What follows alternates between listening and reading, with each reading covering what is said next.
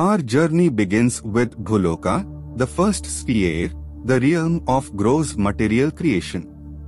This is the visible universe that we perceive with our senses. From eternal substance to the tangible matter, Bhuloka encompasses the entirety of the material cosmos. Moving on to the second sphere, Bhuvarloka. Here, the gross matter fades away, and we enter a realm of electric attributes. It's a space where fine matters take center stage, creating a vacuum known as Shunya, the ordinary vacuum. Svarloka, our third destination, is the sphere of magnetic aura and electricities.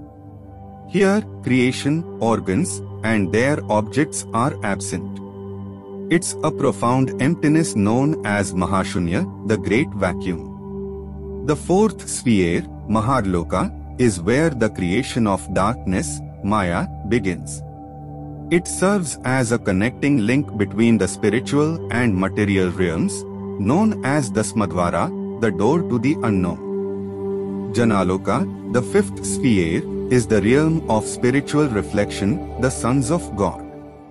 Above the comprehension of the creations of darkness, it's called Alakshya, the inexplicable. Moving to the sixth sphere, Tapoloka, the domain of the eternal patience, the Holy Spirit. Unapproachable by the sons of God, it is rightfully called Agama.